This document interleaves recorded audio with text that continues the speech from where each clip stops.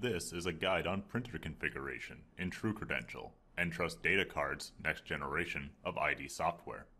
Begin by clicking the gear icon in the top right and choosing Settings. Next, click Printers. Any previously configured printers will be listed, allowing you to edit or delete configurations when needed.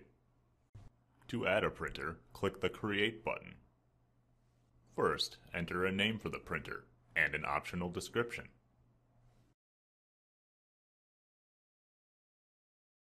Next, select the model of your printer from the dropdown.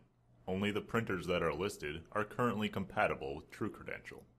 If you'll be personalizing smart cards with this printer, check the box for chip encoding. Next, choose either USB or network depending on how your printer is connected.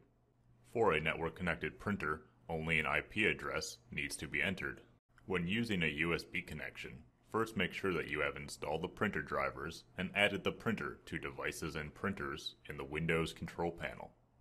Then, enter the device name exactly as it appears in Devices and Printers. Next, enter the IP address or host name of the client PC that the printer is connected to.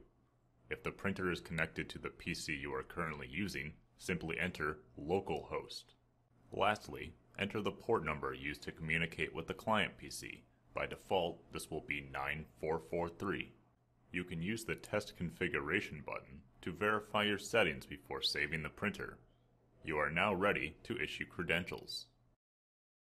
Once a credential is personalized, you can click the Printer Queue Status button to view in progress and completed print jobs for any of your configured printers. For more information on printer configuration, please consult the online help and user documentation.